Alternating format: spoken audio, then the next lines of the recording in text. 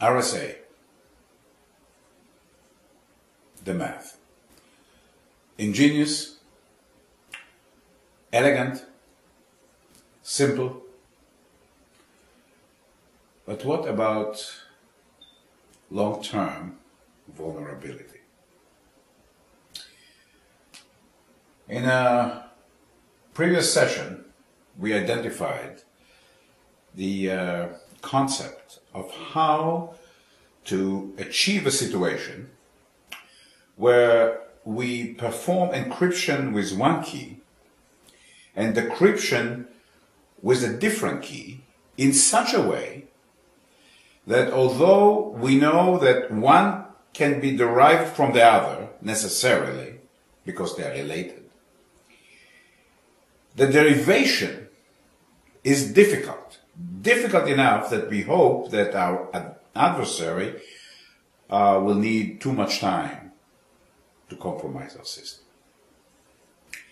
And the idea that we came about was based on modular arithmetic. We talked about substitution, so uh, basically uh, replacing the substitution of letter by letter by a much larger alphabet. So the plain text is a list of, uh, of bits.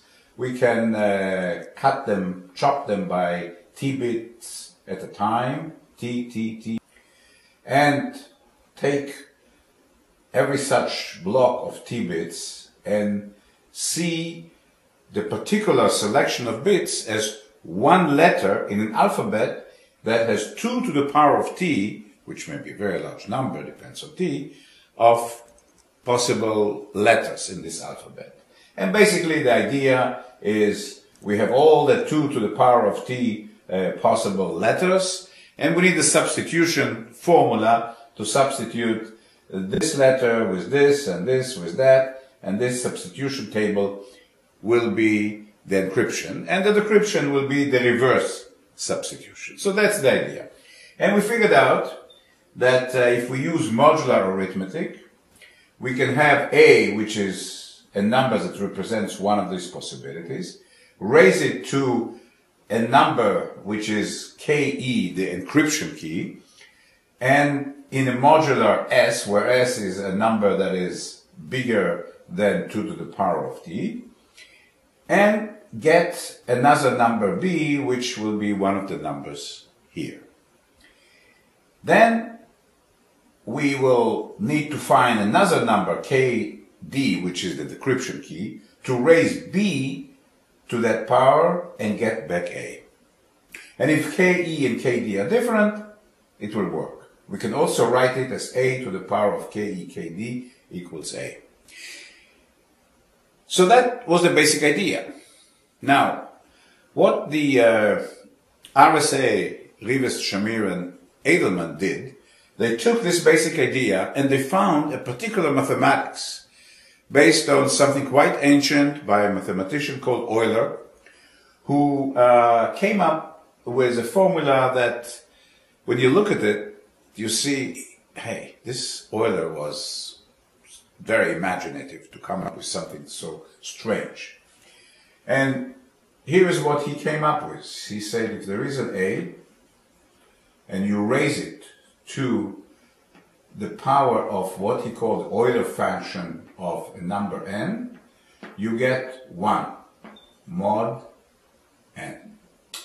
Now phi n is simply a count, a count of how many numbers smaller than n are co-prime with n.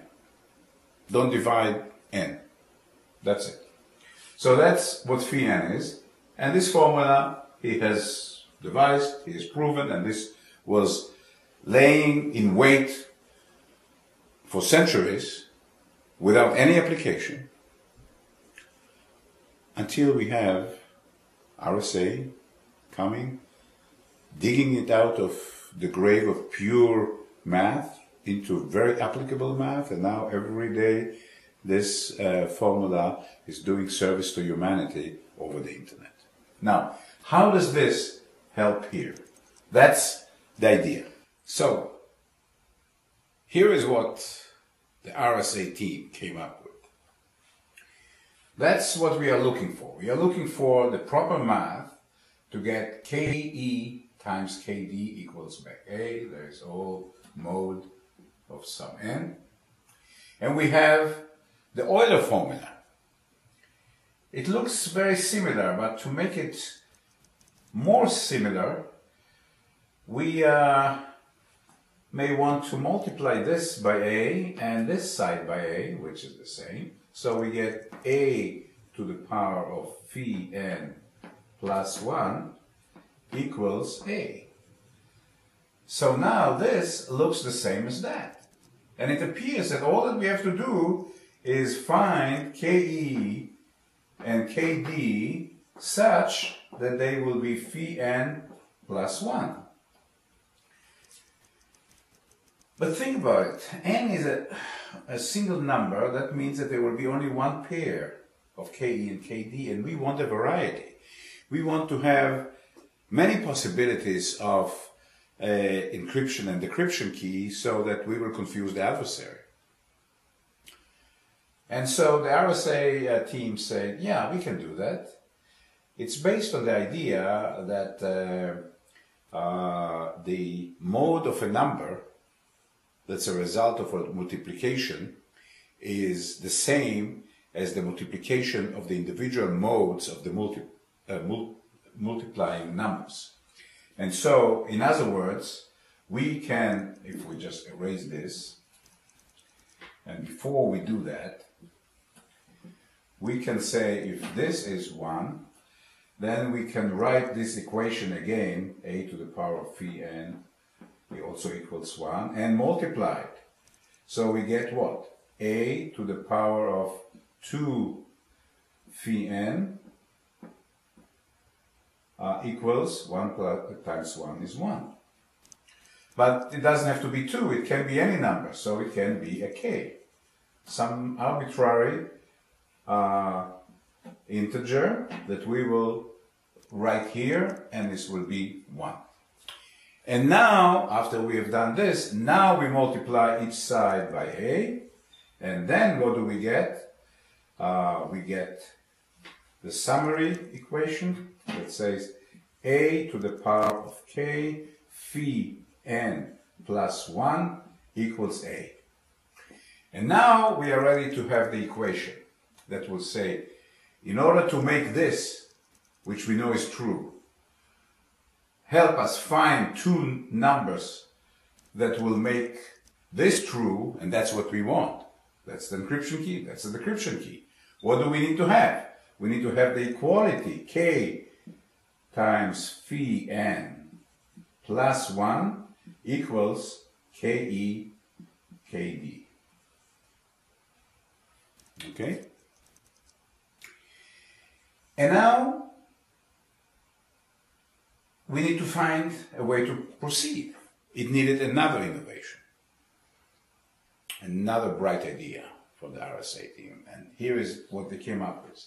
If, if P and Q are two prime numbers, we can multiply them and get an n, which is a number that, when you break it down to its factors, it gives P and Q, and only P and Q.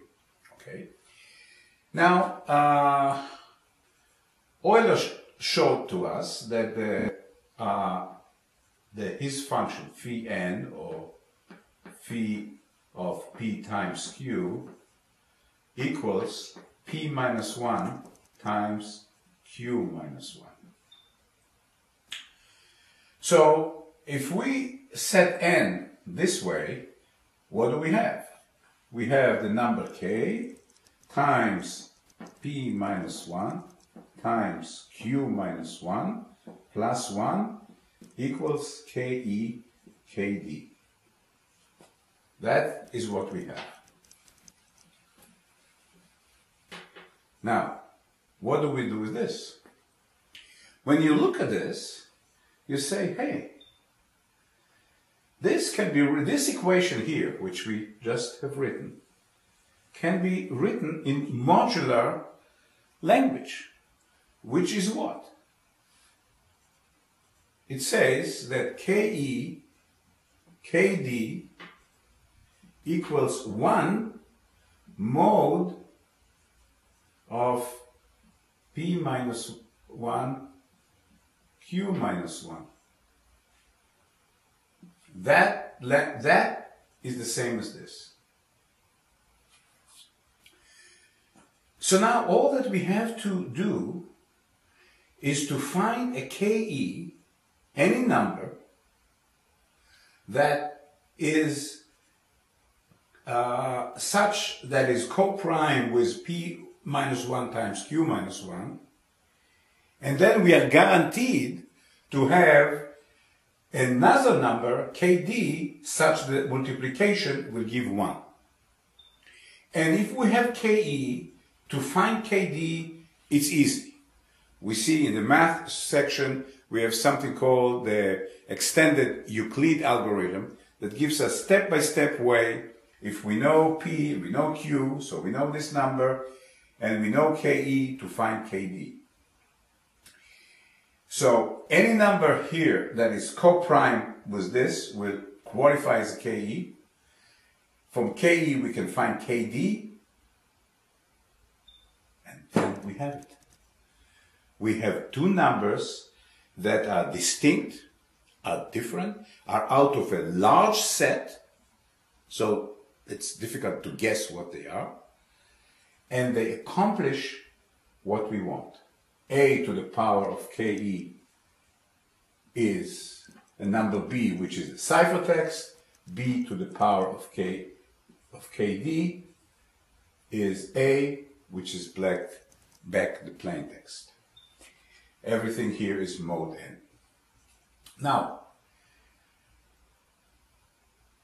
why would it be difficult for adversary to do what we did? If we give KE out, they can use this and find the KD. Can they? They will only be able to find KD if they know P minus 1 times Q minus 1. But we don't release the numbers P and Q. In order to do this calculation, all that you will need is n. And n is p times q. And it so happens that when the p and the q are two primes that are large enough, then if you know n, it's believed to be difficult to identify p and q. We don't know this for sure, but we believe it's difficult because every way that we have is slow enough that we feel if our adversary is not smarter than we are and also does it so slow, then this RSA scheme is secure. We have no proof, but we hope so. Again, in order to find KE from KD the way we did, you need to know the P and the Q in order to calculate P minus 1 times Q minus 1. But to, to calculate this from n, you need first to break n into p and q. And if that is difficult, you cannot calculate this, that if you have ke, you don't have kd, or if you have kd, you don't have ke, case closed. Also remember that the ke and kd are completely symmetrical mathematically. So one can be for encryption, the other for decryption, or vice versa. But that's the entire math.